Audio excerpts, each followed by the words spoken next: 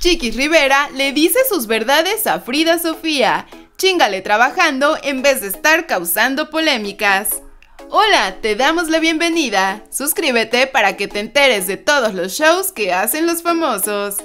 Hace aproximadamente una semana se dio un pleitazo entre Chiquis Rivera y Frida Sofía. Sí, de nuevo Frida, la hija de Alejandra Guzmán. Y es que tal parece que esta joven solo busca problemas por donde quiera que va.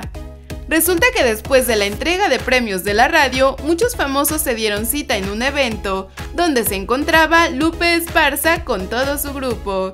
Y atrás de su asiento se encontraba Frida Sofía, así que de pronto él solo empezó a sentir que le estaban tocando el cabello, por lo que inmediatamente volteó y vio que era una joven que le dijo que estaba buscando una coletita azul, que le habían comentado que el cantante tenía pero él siendo muy caballero dijo que a lo mejor se había equivocado. Empieza como a tocar el pelo atrás de mí y yo volteo extrañado, dije, pues ¿quién me está tocando el pelo? Y al volver a estar con su grupo, su hijo le dijo que esa joven era Frida Sofía, por lo que Lupe inmediatamente volteó a hablarle y le pidió disculpas porque no la había reconocido.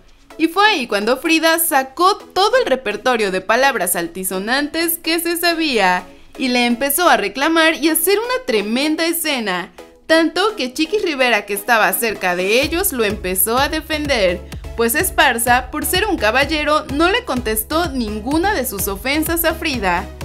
Y conociendo el temperamento de Chiquis Rivera y de Frida Sofía, no es difícil imaginar hasta dónde llegaron las cosas que todo se salió de control, y Esparza prefirió retirarse del lugar y en los días subsecuentes Frida ha estado en el ojo del huracán, por lo que Chiquis decidió poner un alto a toda la polémica y le dijo sus verdades a través de sus historias de Instagram. Las imágenes dicen así. Ya basta de darles atención a gente que es lo único que busca, atención, a costillas de gente que se anda partiendo la madre trabajando. Póngase a chingarle y les aseguro que no van a tener tiempo, ni las ganas y mucho menos la necesidad de andar envueltos en dramas para ser más populares.